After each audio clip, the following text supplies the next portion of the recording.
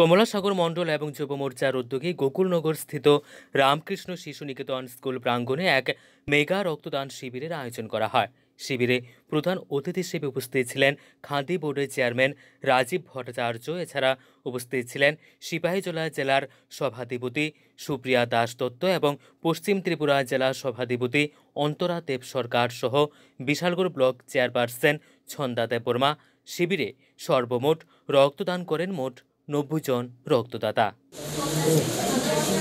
আমরা জানি রক্তদান মহদান আজকে এই করোনা পরিস্থিতির উপর দাঁড়িয়েও আমাদের কমলাসাগর মণ্ডলের উদ্যোগে আজকে এখানে এই কমলাসাগর মণ্ডলের উদ্যোগে আজকে একটা মেগা রক্তদান শিবিরের আয়োজন করা হয়েছে। আমি মণ্ডল কমিটিকে অসংখ্য ধন্যবাদ জানাই এবং যারা রক্তদাতা, তাদেরকে অসংখ্য ধন্যবাদ জানাই।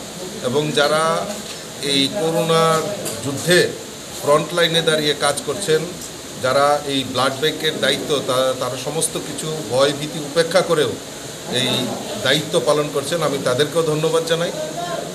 Bureau report, Tripura twenty four into seven.